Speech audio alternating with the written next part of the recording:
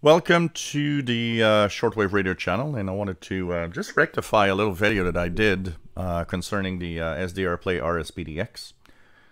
So now I've got three antennas plugged in. Uh, this is the picture where I don't have the uh, three, but right now three antennas are now plugged on the um, RSPDX.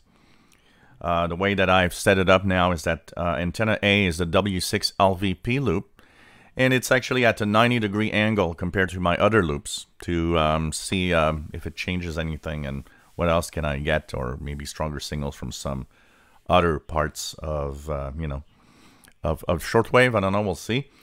Antenna B is the original MLA 30 and antenna C with that B and C adapter is the new MLA 30 plus uh, what I wanted to rectify is I said that in C connector I have for uh, HDR, dynamic range.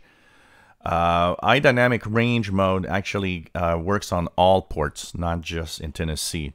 In my video, I kind of uh, hinted that it was antenna C only that had HDR uh, mode, which is not high dynamic range. And it has to be enabled in a specific way also. Um, a lot of you have noticed, and yes, it's absolutely true. When I uh, tuned the AM band the other day, the AM band tuning was on regular mode. Uh, I will try to have another scan of the AM band tonight around midnight, the same time I did the other day. But this time, I will be using HDR mode, high dynamic range, which is improving the reception and the selectivity of um, basically and the resistance, if you want, of the SDR Play RSPDX to strong signals on a medium wave band. So we'll do a same the same scan, but this time in HDR enabled. Uh, my review is very, very close to be coming up. I actually been reading the uh, SDR Uno and the RSPDX, um, um, as much information on all of that as possible.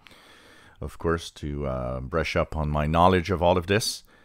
Um, once again, it's a great device if you're looking for an SDR play or a, if you're looking for an SDR. You know, um, like I always say, and I'll, I'll keep saying it, if you're looking for something that isn't too expensive because you're a limited budget, the RSP1A is amazing. You should get that. And if you can, well, you know, got more antenna inputs and um, even a uh, you got HDR mode, which is unavailable on other uh, RSP devices and of course clock reference possibilities.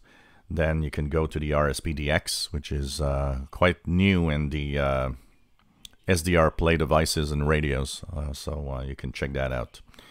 So more videos coming up, and the review is very, very soon to be here. So hope that you enjoyed that. But uh, I'm really enjoying all of these devices. They are quite amazing, uh, and like I like to say, price versus performance, very hard to beat. If you enjoy my videos, please subscribe, give us thumbs up. Thank you for watching.